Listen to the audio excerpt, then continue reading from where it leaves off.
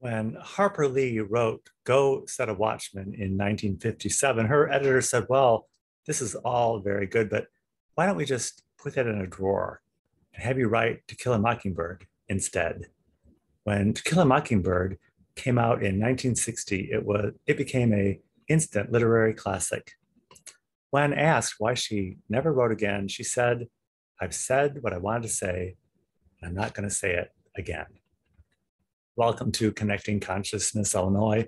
I'm Stanley Smith. Connecting Consciousness is a worldwide network of like minded people. When we're all connected, we're encouraged and empowered individually and collectively. And what, what are we encouraged about? Well, we're encouraged about raising our own consciousness, and we're doing that individually together. I live in downtown Chicago where all we're allowed to talk about is the weather and what color the flowers are on Michigan Avenue.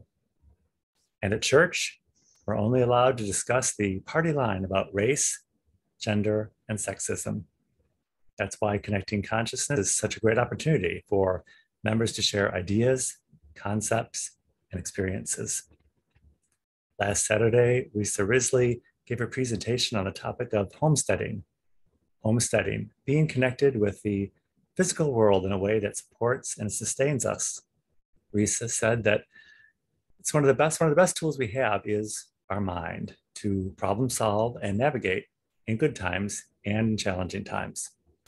Risa also differentiated between prepping and holistic living.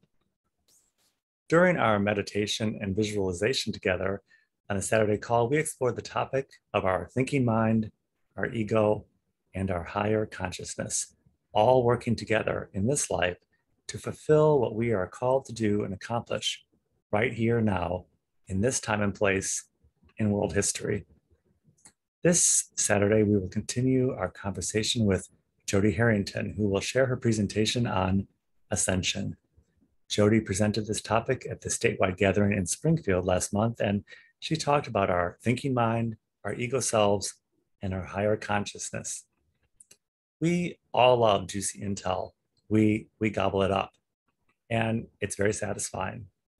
To our ego, we all look pretty good, and we're pretty sure that what we believe is correct and that our way is the right way. But on the consciousness level, we know there's more, more to life, more to life than just seeing everything as a problem to solve or as a way to position ourselves in the most favorable light. It's about being who we are as God sees us and the way He created us, how we navigate the moral, moral universe with integrity, poise, and balance. Are we waiting for the big reveal? Yes, yes, we are. And part of that big reveal is to change our own hearts. And this allows us to see that it's already happening.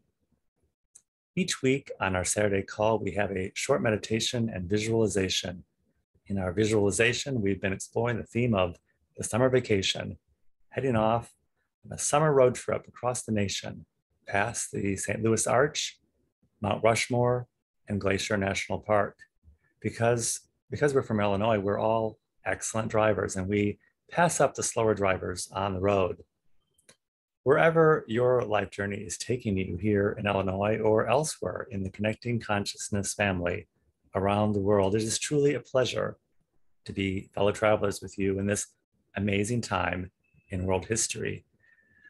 We all have something to say, and it's time to take what we have to say out of the drawer and share that with others. Let our consciousness be our watchman and put the foot on the accelerator and allow ourselves and others to move ahead on the highway to higher consciousness individually together.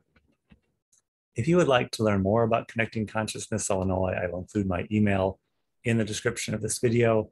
The Saturday statewide call is every, every Saturday at 9 a.m. Central Time on Zoom, and I look forward to seeing you very, very soon.